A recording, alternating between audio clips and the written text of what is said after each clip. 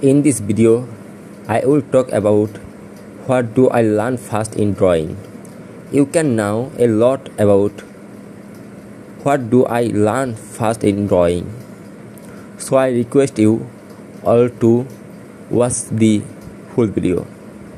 Now we are studying to talk about this video.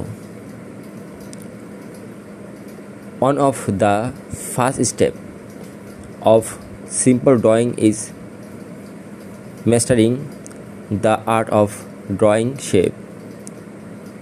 The cube, the cylinder, and the shape are the fundamental shape and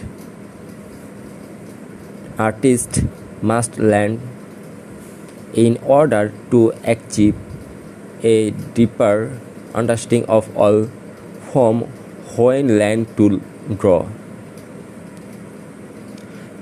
Thank you for watching my full video.